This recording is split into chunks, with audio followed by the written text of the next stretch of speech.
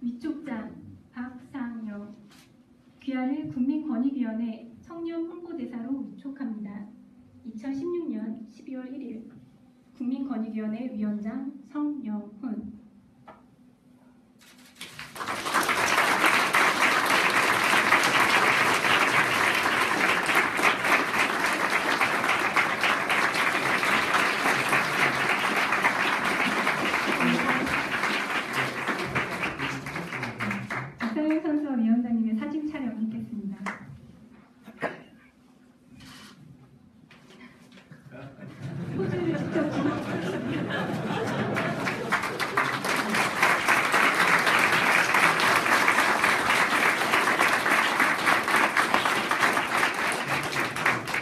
世の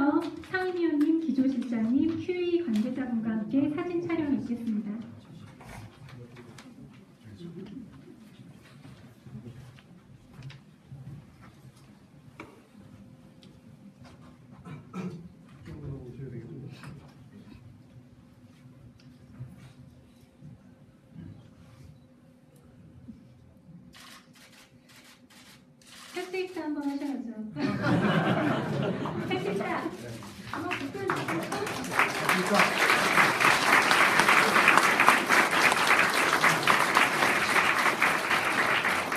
감사합니다. 이 다음은 청년 홍보대사로 위촉된 박상현 선수의 소감을 듣도록 하겠습니다. 어. 네, 안녕하세요. 테니스 선수 박상영이라고 합니다. 아, 네. 먼저 이런 뜻깊은 자리를 만들어 주시고 어, 이런 자리를 저에게 주셔서 너무 영광이고 감사하다고 생각합니다. 그리고 제가 청- 청년 홍보대사로서 이제 어, 사회가 청렴하고 정정당, 정정당당한 사회가 될 수 있도록 열심히 노력하고 제가 할 수 있는 일이면 기꺼이 하도록 하겠습니다. 열심히 하겠습니다. 감사합니다.